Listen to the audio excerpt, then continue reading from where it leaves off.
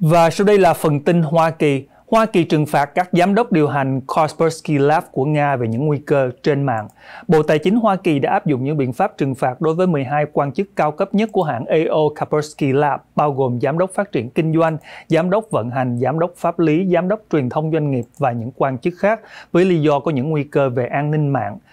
Quyết định trừng phạt được đưa ra chỉ một ngày sau khi mà chính quyền của Tổng thống Joe Biden công bố kế hoạch cấm bán nhu liệu chống virus cũng của hãng này. Thứ trưởng Bộ Tài chính Hoa Kỳ ông Brian Nelson tuyên bố hành động ngày hôm nay nhắm vào ban lãnh đạo của Kaspersky Lab nhấn mạnh cam kết của chúng tôi nhằm bảo đảm tới tính toàn vẹn của không gian mạng và bảo vệ cho công chúng Mỹ trước những mối đe dọa nguy hiểm trên mạng. Lệnh trừng phạt cho thấy là chính quyền Tổng thống Biden đang cố gắng dập tắt mọi rủi ro về các cuộc tấn công mạng của Nga có liên quan tới nhu liệu của Kaspersky. AO Kaspersky là một một trong hai đơn vị của Kaspersky Lab của Nga đã bị Hoa Kỳ đưa vào danh sách hạn chế thương mại vì bị cáo buộc hợp tác với tình báo quân đội Nga để hỗ trợ các mục tiêu về tình báo mạng của Moscow. Chính phủ Mỹ nói rằng nhu liệu này gây rủi ro nghiêm trọng và nêu ra dẫn chứng là Nga có ảnh hưởng đối với hãng Kaspersky. Các nhu liệu của hãng này có đặc quyền truy cập vào hệ thống máy tính có thể cho phép nó đánh cắp thông tin nhạy cảm từ các máy tính của Mỹ và khả năng cài đặt nhu liệu độc hại cũng như là chặn các bản cập nhật quan trọng.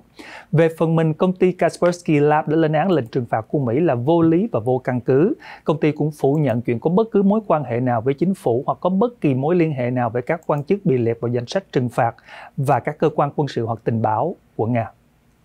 Bộ Tài chính Hoa Kỳ đề nghị ra luật ngăn dân Mỹ đầu tư vào công nghệ Trung Quốc. Bộ Tài chính Hoa Kỳ vừa đề nghị đưa ra quy định hạn chế và giám sát các khoản đầu tư của Hoa Kỳ vào Trung Quốc trong lĩnh vực trí tuệ nhân tạo, chip máy tính và điện toán lượng tử.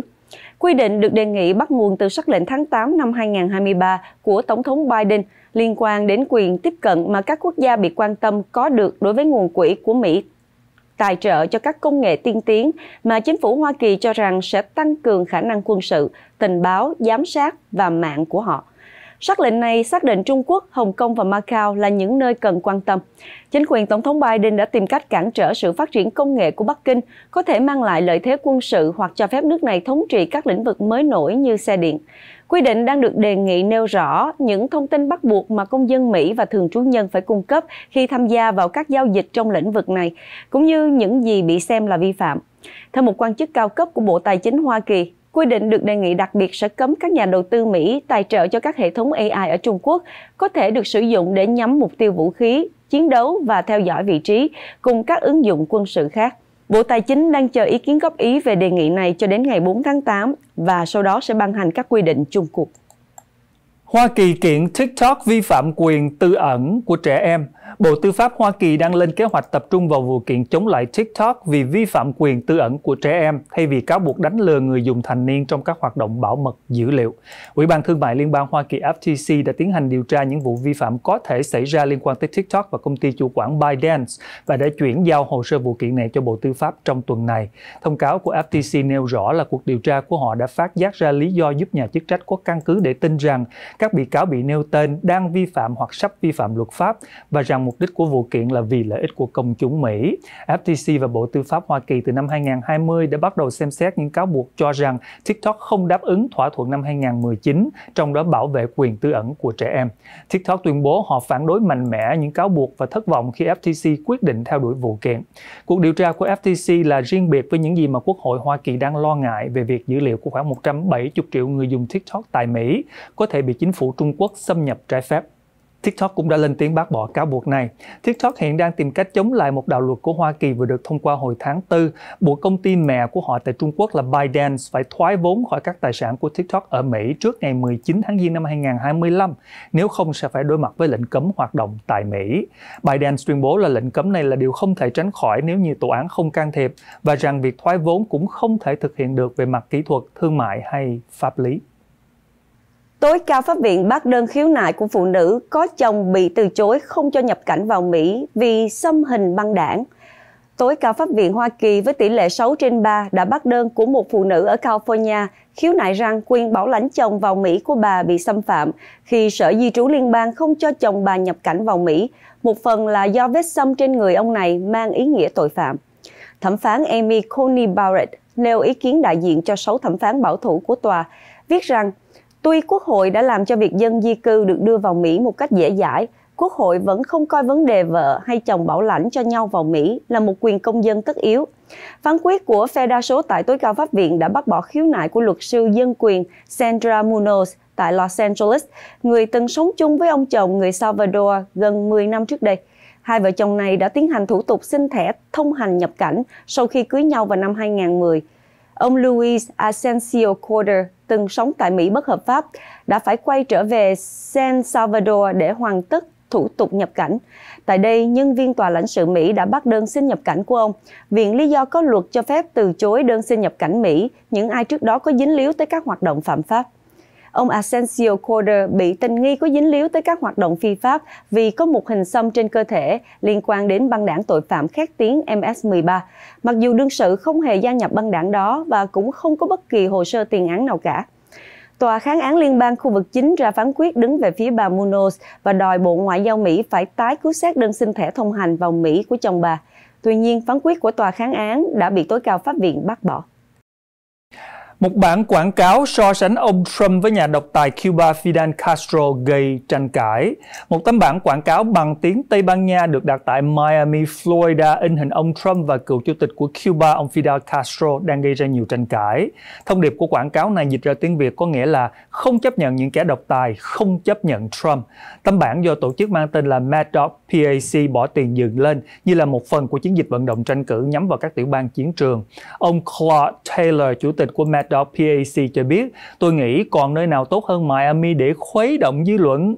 Ông giải thích là mục đích của bản quảng cáo này là nhằm cảnh báo cộng đồng người Mỹ gốc Cuba về những nguy cơ của chủ nghĩa độc tài khi Fidel Castro lên cầm quyền. Ông nói tôi tin chắc rằng Donald Trump muốn trở thành một nhà độc tài, vì vậy khi muốn đánh động tới khối cử tri người Mỹ gốc Cuba, tôi nghĩ đó là một sự so sánh thích đáng. Tôi phản đối chế độ độc tài và ủng hộ nền dân chủ. Một trong những nền tảng của nền dân chủ là quyền tự do ngôn luận. Ngược lại, những người ủng hộ ông Trump tại địa phương đã chỉ trích tấm bản quảng cáo kia. Một ông tên là John nói là ai làm gì chống Trump cũng đều bị phản pháo, vô dụng thôi. Như tấm bản quảng cáo này nè, đang quảng cáo miễn phí cho ổng đó. Một ông khác cũng bên Trump nói là không thể so sánh Fidel Castro với ông Trump được vì Trump không phải là cộng sản. Tôi đã từng bỏ phiếu cho Trump và sẽ bỏ phiếu cho ổng thêm lần nữa. Louisiana thông qua luật cho phép thiến tội phạm lạm dụng tình dục trẻ em. Louisiana đã trở thành tiểu bang đầu tiên mà các thẩm phán có thể ra lệnh cho những kẻ phạm một số tội tình dục đối với trẻ em phải thiến phẫu thuật theo một đạo luật vừa được thống đốc đảng Cộng hòa Jeff Landry ký ban hành. Đạo luật sẽ có hiệu lực từ ngày 1 tháng 8, cho phép các thẩm phán có quyền lựa chọn kết án thiến phẫu thuật sau khi một người bị kết án về một số tội phạm tình dục nghiêm trọng, bao gồm hãm hiếp, loạn luân và lạm dụng tình dục đối với trẻ em dưới 13 tuổi. Hình phạt này không phải là tự động và sẽ tùy theo từng trường hợp và theo quyết định của thẩm phán. Những ai không tuân thủ sẽ phải đối mặt với án tù bổ sung từ 3 đến 5 năm. Những người ủng hộ hy vọng hình phạt mới sẽ có tác dụng răng đe và giúp làm giảm bớt các vụ tội phạm tội tình dục trẻ em.